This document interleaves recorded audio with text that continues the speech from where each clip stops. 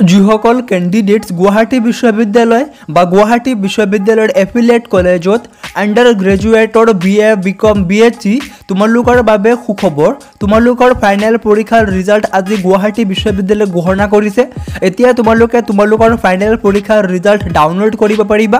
Final পৰীক্ষাৰ result download কৰিবলৈ প্ৰথমতে আহিব লাগিব গুৱাহাটী বিশ্ববিদ্যালয়ৰ যি official website W W dot G U portal dot in এই ৱেবছাইটৰ লিংক ভিডিঅ' ডেছক্ৰিপশ্যন বক্সত দিয়া থাকিব। ইয়াৰ পৰা ভিজিট কৰিব পাৰিবা। প্ৰথমতে গুৱাহাটী বিশ্ববিদ্যালয়ৰ অফিচিয়েল ৱেবছাইটত ভিজিট কৰিবা। অকণমান স্ক্ৰল ডাউন কৰিবা আৰু অকণমান স্ক্ৰল ডাউন কৰিলে দেখা পাবা জি ৰিজাল্ট বটম এই জি ইউ ৰিজাল্ট বটমত ক্লিক কৰিবা অকণমান স্ক্ৰল ডাউন কৰিবা। অকণমান স্ক্ৰল ডাউন কৰিলে ইয়াত তোমালোকে ৰিজাল্ট টাইপ ক্লিক কৰিবা। ৰিজাল্ট টাইপ তোমালোকে ৰি ইভেলুৱেশ্যন ক্লিক কৰিবা। একাডেমিক ছেশ্যন দুই হাজাৰ একৈছ আৰু দুই হাজাৰ বাইছ বৰ্ষৰ ক্লিক কৰিবা। চিলেক্ট কোৰ্চ তোমালোকে আণ্ডাৰ গ্ৰেজুৱেট ক্লিক কৰিবা।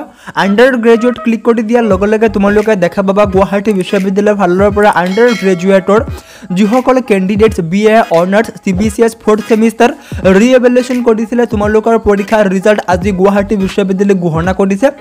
তাৰ লগতে যিসকল candidates B A regular C B C S fourth semester B H C honours C B C S fourth semester B H C regular C B C S fourth semester B com honours C B C S fourth semester আৰু B com regular C B C S fourth semester তোমালোকৰ ৰি ইভেলুৱেশ্যনৰ পৰীক্ষাৰ ফলাফল আজি গুৱাহাটী বিশ্ববিদ্যালয়ে ঘোষণা কৰিছে।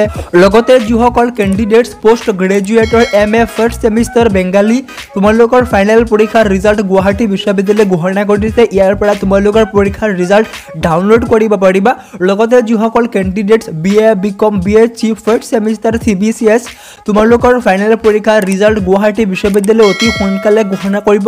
যেতিয়াই তোমালোকৰ ফাইনেল পৰীক্ষাৰ ৰিজাল্ট ঘোষণা কৰিব সকলোতকৈ আগত তোমালোকে আছাম অনলাইন টেক চেনেলত ভিডিঅ' পাবা চেনেলটো ছাবস্ক্ৰাইব কৰি ৰাখিবা। আজিলৈকে এইখিনিতে।